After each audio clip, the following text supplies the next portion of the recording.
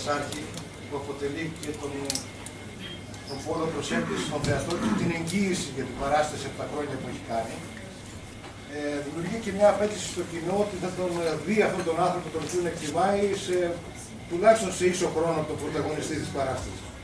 Αυτό γίνεται ή εμφανίζεστε λιγότερο από τον επιθεωρητή, ας πούμε; Όχι, εμφανίζομαι περισσότερο, αλλά ο ρόλος του επιθεωρητή είναι ο ρόλος του, του, του, του, του τίτλου, ο ρόλος του έργου. Εγώ εμφανίζομαι περισσότερο.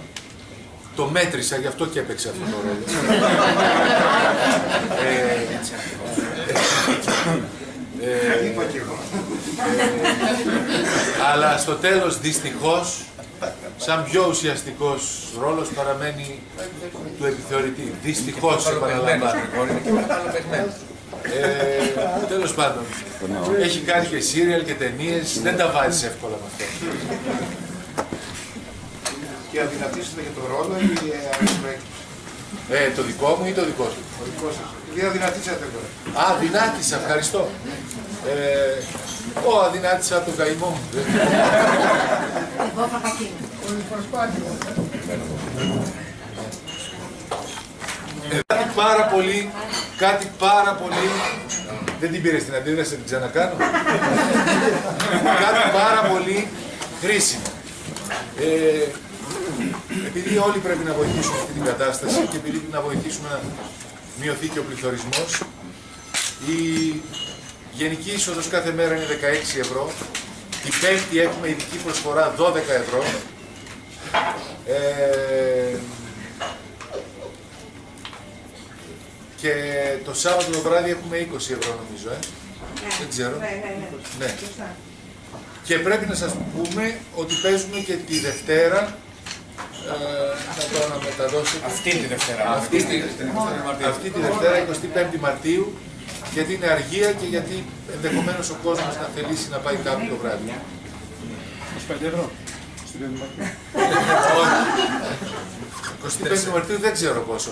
Εμείς οι καλλιτέχνες, επειδή είμαστε ψώνια, δεν έχουμε σχέση με τα χρήματα. Ε, πληρώνουμε κάτι και μπαίνουμε και παίζουμε. Θα έχει σημαία δώρο στην είσοδο. Τι θα έχει, Σημαίουλα δώρο. χαλβά, χαλβά. Κάτι Την φαγός. περασμένη Δευτέρα. Ε, θέλω να σας... Ε, επειδή είναι δύο μέρες μέσα στο, στο Αριστοτέλειο, θέλω να σας πω, πάντα έχουμε το, το, το καημό να φέρουμε την παράσταση ακριβώς όπως ήταν στην Αθήνα. Πολλές φορές δεν το πετυχαίνουμε αυτό.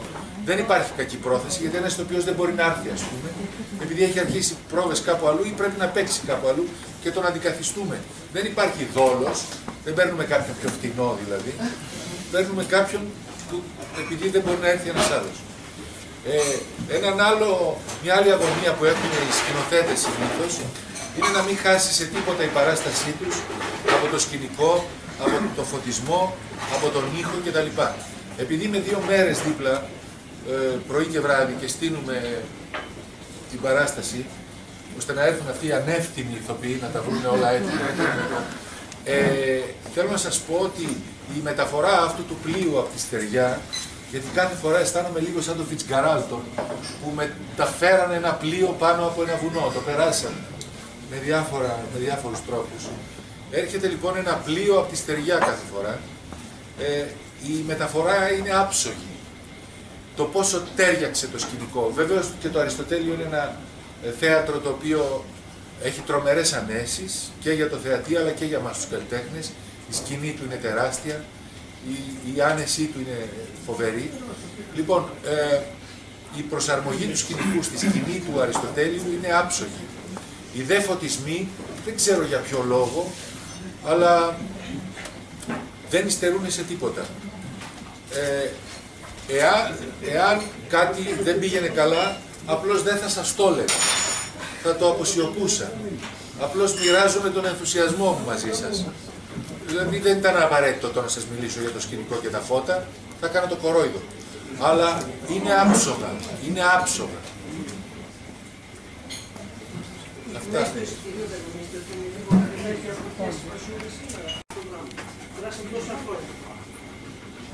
Ναι. εκεί. Έλληνες εννοείς; Νομίζω που υπήρξε κυπριακή παραγωγή ενδεχομένως θα υπήρξε, δεν μπορεί.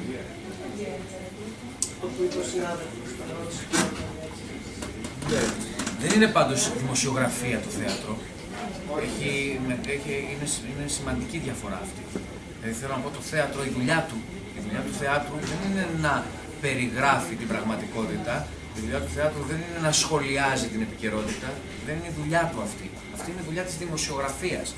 Το θέατρο μιλάει για, τα, για πράγματα που απασχολούν, θα απασχολούν και απασχολούσαν τους ανθρώπους λίγο πιο σύνθετα και λίγο πιο βαθιά από ένα περιστατικό που συνέβη δίπλα. Ακόμα και αν αυτό το περιστατικό είναι τόσο σημαντικό, τόσο οδυνηρό που να αφορά μια ολόκληρη κοινωνία, όπως είναι μια οικονομική, πολιτική, κοινωνική κρίση. Δεν είναι δουλειά του του θεάτρου να σχολιάζει. Ε, αυτό το κάνει ένας πολιτικός σχολιαστής, ένας κοινωνιολόγος, ένας δημοσιογράφος, θα γράψει ένα δοκίμιο θα κάνει μια πολιτικο-οικονομικό-κοινωνική ανάλυση για την περίοδο εκείνη, θα γυρίσει το βλέμμα του και θα πει περίοδος 80-90, περίοδος 2000-2010, οικονομική κρίση της Ελλάδας 2012. Το θέατρο και γιατί καταφεύγουμε στα κλασικά έργα. Καταφεύγουμε στα κλασικά έργα γιατί έχουν καταφέρει να μείνουν κλασικά, δηλαδή μέσα από το φίλτρο αυτό που υπάρχει όπως έλεγε πολύ σωστά ο Γρηγόρης πριν, των χρόνων που περνούν, κατασταλάζουν αυτά που είναι σημαντικά. Και είναι σημαντικά γιατί μιλούν για κάτι παραπάνω από μία στιγμή μιας κοινωνίας. Δεν μιλούν για το δεύτερο παγκόσμιο, δηλαδή ο Πρίσλι γράφει αυτό το έργο τελειώνοντας ο δεύτερος παγκόσμιος, αλλά δεν μιλάει για την κρίση της κοινωνίας του δεύτερου παγκοσμίου πολέμου ή για την ηθική κρίση εκείνης της εποχής. Μιλάει γενικώς για τον άνθρωπο. Και αυτό που λέει θα αφορά και τον άνθρωπο των 100 χρόνων μετά. Γι' αυτό, γι αυτό χρειάζεται το θεατρικό έργο, γιατί μιλάει για κάτι που είναι παραπάνω από τη στιγμή αυτή τη συγκεκριμένη στην οποία συμβαίνει κάτι. Γι' αυτό μπορούμε να επικοινωνούμε με την αρχαία ελληνική τραγωδία. Δεν είναι σημαντικό αυτό από το οποίο εμπνέεται. Εμπνέεται από την ανάγκη του ανθρώπου, από την αγωνία του, εμπνέεται από τα προβλήματα που θα τον απασχολούν πάντα στα αλήθεια. Γι' αυτό και εμπνέονται τα 9 στα 10 έργα από το θάνατο, τα, τα 9 στα 10, τα 2 στα 10, τα άλλα 2 από τον έρωτα, τα άλλα 2 από τις οικογενειακές σχέσεις και τα άλλα 4 από την καταπίεση του ατόμου. Δηλαδή αν, αν κάναμε μια πρόχειρη ανάλυση για το τι μιλάνε για τα, τα πράγματα τα οποία απασχολούν τους ανθρώπους που γράφουν θεατρικά έργα, θα έβλεπε κανείς ότι είναι αυτά. Η καταπίεση του ατόμου από την κοινωνία, οι σχέσεις οι ενδοοικογενειακές, ο έρωτας, ο θάνατος. Ε, με, αυτά, αυτά τα όπλα μιλούν οι συγγραφείς. Και μέσα από αυτά τα έργα, όσο πιο σημαντικά είναι τα έργα, βρίσκει κανείς απαντήσεις και για το. Και για το, και για το... Να σου πω κάτι. Ναι. Το θέατρο. Ο κ. Μαρτινός προηγουμένως μίλησε για το θέαμα, τη διασκέδαση, την ψυχολογία και όλα αυτά τα πράγματα ιστορία του θεάτρου, του ελληνικού θεάτρου, γράφεται όταν παράγονται καινούργια ελληνικά έργα που αντικατοπτρίζουν την ελληνική κοινωνία της εποχής μας. Γράφονται του 80, του 60. Γράφονται ελληνικά έργα. Έχουν περάσει τέτοιες περίοδοι πολύ σημαντικές. Και κοντά σε αυτές βγήκαν και πολύ μεγάλοι ηθοποιοί που ερμηνεύσαν αυτούς τους ρόλους και αφήσαν ιστορία η οποία είναι σημαντικότερη ιστορία από την ιστορία που καταγράφουν στα σχολεία κάθε βιβλία. Ναι. Δηλαδή, άμα γυρίσεις πίσω, ας πούμε, ο Θεός αποβεί τον άντρα, η κοινή να αποβεί τον άντρα, ως ηθογραφία δεν είναι γραμμένη πουθενά αλλού. Ω ταινία με τον ηθοποιού, ναι, ναι. και αυτά. Ή μπορεί να γράφει ιστορία με ένα δάσκαλο, ο οποίος σε ένα υπόγειο χρόνια ολόκληρα μας προτείνει καινούργια έργα από το εξωτερικό που δεν τα έχουμε δει, αναδεικνύει συγγραφεί και γράφει την ιστορία του και λέγεται Κάρολο Σουγούν και θέατρο τέχνης. Έτσι γράφει την ιστορία. Αντίστοιχα θα μπορούσε να πει κανείς ότι και το. Μια χαρά. Κάποιοι καλά, κάποιοι με πολλά λεφτά, κάποιοι με μεσαία, κάποιοι κάνοντας πειραματικό θέατρο, αυτό δεν γράφει ιστορία. Αυτό είναι πολύ σωστό για να επιβάλλει. Ξέρετε κάτι, είναι πολύ εύκολο κανείς να βλέπει την ιστορία από 20 ε, χρόνια μετά και να μιλάει για αυτή. Όταν συμβαίνει, Πιστέψτε με ότι όταν συνέβαινε και αυτός ο δάσκαλος που περιγράφει τη συγκεκριμένη εποχή, πολλοί άνθρωποι θα λέγανε ότι δεν συμβαίνει τίποτα αυτή τη στιγμή. Ξέρετε κανένα δάσκαλο σήμερα; Όχι, αντίστοιχα όμως θα γυρίσετε και κοιτάξει. Ξέρετε έργο που είναι να λέμε και τα είδη του σήμερα, ας πούμε, ξέρετε κάτι τέτοιο; Ξέρετε κάτι; Ναι, υπάρχουν πολλοί Υπάρχουν πολλοί άνθρωποι οι οποίοι γράφουν. Ο ένας ε, πολίτη σας, ο Λεωνίδας ο Προσαλίδη, ας πούμε, είναι μια πολύ σημαντική φωνή. Ο Γιάννης ο Τσίρος έχει γράψει πολύ ωραία έργα, πολύ ενδιαφέροντα έργα. Πέστε σε κάτι, τρία και μετά είναι στα... Σερέφ. ο Σερέφας, ο Χριστίδης, ε, θέλω να πω υπάρχουν άνθρωποι που γράφουν και ξέρετε κάτι, το φίλτρο του χρόνου, το φίλτρο του χρόνου θα ανθίσει για την δεκαετία 2000-2010 τρία-τέσσερα έργα. Δεν άφησε παραπάνω. Λέτε ο Κεχαίδης. Και πόσοι ακόμα δηλαδή, και άλλοι, και άλλοι 20 μαζί με τον Κεχαίδη. Δηλαδή είναι, δηλαδή είναι ο Κεχαίδης και είναι και ο άλλος και ο άλλος και ο άλλος. Είναι ο Κεχαίδης, ο Καμπανέλης, και μετά έγινε και ο ίσως ο Σκούρτης, θέλω να πω, ε, πέρασε το φίλτρο του χρόνου και άφησε τρει-τέσσερι σημαντικούς συγγραφείς. Είναι γνωστά και είναι πολύ ο καθένα είναι από το τομέα του. Ναι, αυτό λέω. Τρει-τέσσερι σημαντικοί συγγραφείς. Στην Αγγλία κάθε 10 χρόνια βγαίνει καινούργια γενιά συγγραφέων. Εδώ δεν υπάρχει τέτοιο πράγμα. Τώρα μην τα συγκρίνουμε αυτά τα πράγματα. Τι δεν υπάρχει ακριβώς, δηλαδή τι, ποιο είναι το θέμα, ότι δεν, στη σημερινή εποχή δεν γράφονται έργα, αυτό δεν καταγράφεται στη σημερινή πραγματικότητα;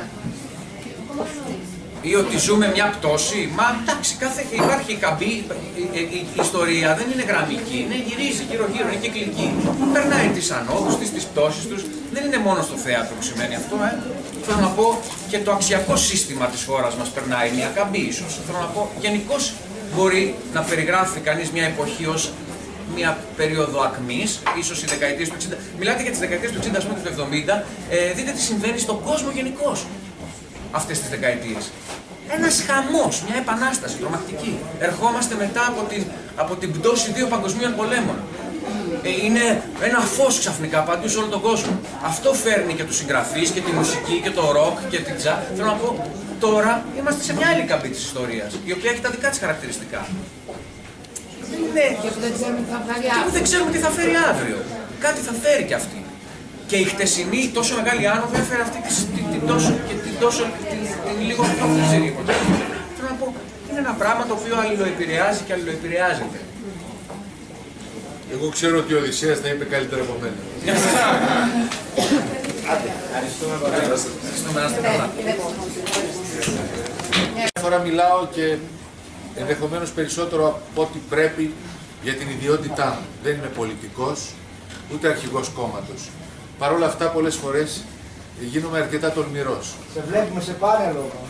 Ε, σε πάνελ δεν, δεν ήμουν συντηρητικός. Έχεις τον αέρα. Ναι, όμως η τέξη Και τον αέρα τον έχω γιατί, ε, εντάξει. Άρα πάει και Ε, αλλά επειδή θίξατε ένα πολύ σοβαρό θέμα, το θέμα του εισιτηρίου.